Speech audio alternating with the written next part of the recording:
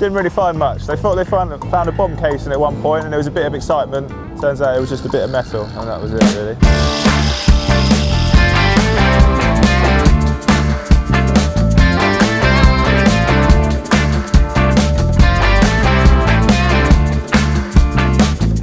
Here we are in the pit part of the Carnwath Road. Behind you can see the pilot tunnel being constructed for main tunnel B uh, connection. The other one here you can see is for main tunnel A tunnel secondary lining level servicing uh, the SCL branch. If we turn around you can see main tunnel A which the secondary lining is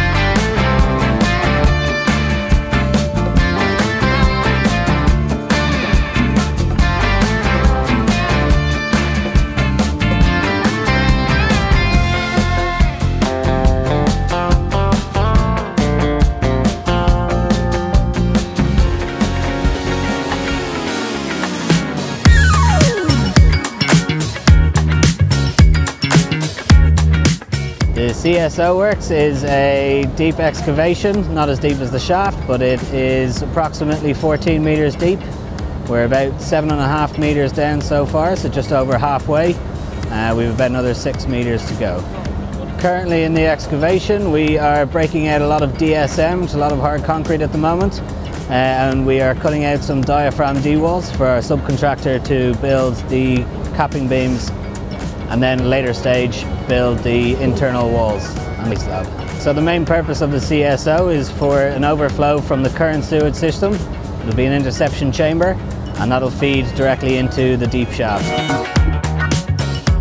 Welcome to KEMP. Behind me you're looking at the shaft. We're currently at 43 metres deep. We've got another 20 to go. We've just hit the chalk, so that's a big milestone for us. A little bit harder to dig. Nice white colour. A little bit of excitement amongst everyone for, for reaching that. We won't be ready to receive the TBM like the other sites by the time it comes through under, under the river here. It will go past whilst we're finishing off. We'll put the tunnel in then. It's about a 10 metre long connection tunnel and we'll connect into the tunnel rather than the other way around where the TBM comes through the bottom of our shafts.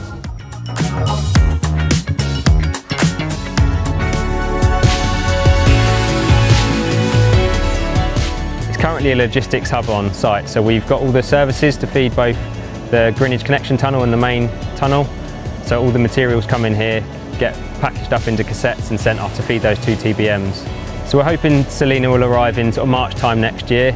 From June this year we need to get the shaft ready, so we need to get the roof off that's behind me currently, set the ventilation and the access systems up, and then there's a pressure vessel to build at the bottom, ready for Selina to drive into. Once we're going 24 hours from here, we'll probably have 120 people maximum.